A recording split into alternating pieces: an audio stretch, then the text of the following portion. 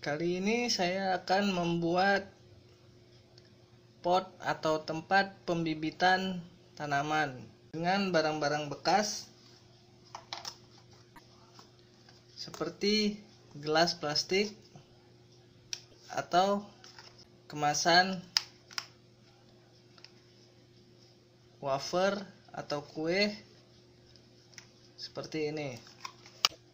Dan kemasan es krim. Ini bagus untuk pembibitan atau penyemaian yang membutuhkan tutup. Alat yang kita gunakan hanya solder. Kita hanya membolongi kemasan tersebut.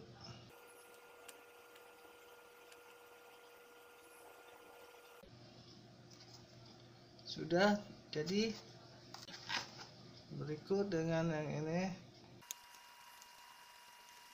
Karena bulatnya kecil jadi kita membuat banyak bolongan agar air bisa keluar tidak menggenang di dalam pot pembibitan yang akan menyebabkan terjadi kebusukan pada bibit. Karena air tergenang di dalam pot. Yang ini saya membolongkan tutup untuk udara bibit tersebut. Karena melakukan penutupan pada saat penyemaian.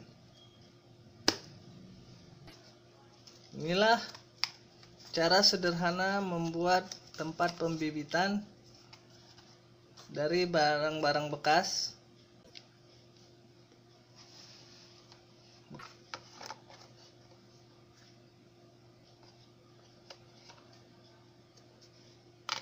Tunggu video-video berikutnya tentang pembuatan pot. Terima kasih telah menonton video saya.